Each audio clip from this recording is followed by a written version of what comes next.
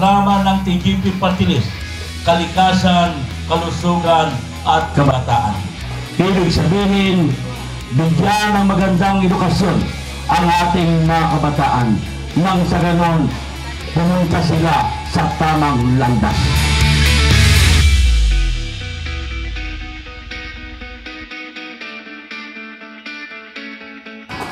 Paano makakapag-aral ang mga kabataan kung kulang ang kanilang silid-aralan? Kaya nga po, talino at galing ng Pilipino ang TGP Party List.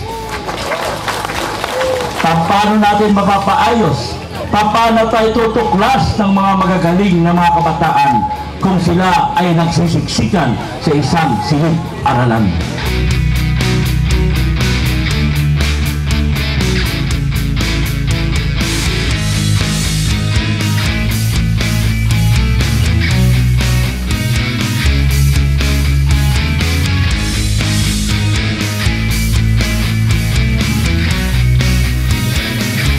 Ora madaog din eh, kay two story ini na 10 classroom sa Utapi.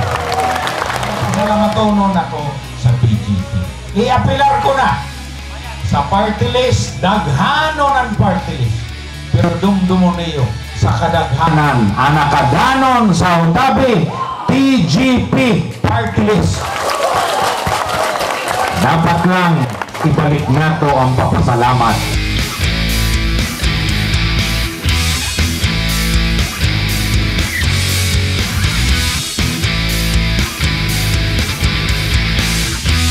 Lubhang napakahalaga po ng ibinigay na biyaya sa amin ng mga butihing congressman. Lalong-lalo na po si Congressman Tebes. Lubhang napakahalaga po ito sa aming mga mag-aaral, mga magulang, komunidad, kung saan ito po ay mapapakinabangan ng aming mga bata. Sabi nga, ika nga, it takes a whole village to educate a child. Kailangan tulong-tulong upang mabuo ang pangarap ng aming mga kabataan. Pangarap na magiging gabay at instrumento sa pagtupad ng kanilang mga mithiin. Sa pangalan po ng Faustino G. Glua High School, kami pong lahat na nasa aming paaralan ay lubos na nagpapasalamat sa TGP Party List, lalong-lalo na kay Representative Jose Bong Tebes Jr.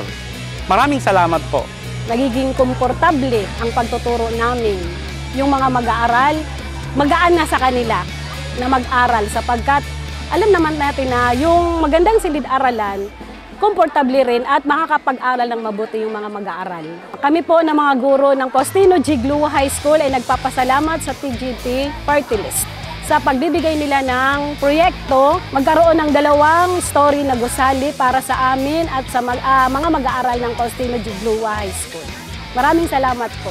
Bilang presidente ng Supreme Secondary Learner Government ng Faustino G. Glua High School dito sa Otabi, Bulan, Sorsogon, ay taos puso ay nagpapasalamat sa TGP Party List dahil sa inihandog po nilang two-story building or the 10 classroom para po sa mga estudyante. Ito po ay malaking bagay para sa amin para po lalo kayong mapag-focus sa pag-aaral. Maraming salamat, TGP Party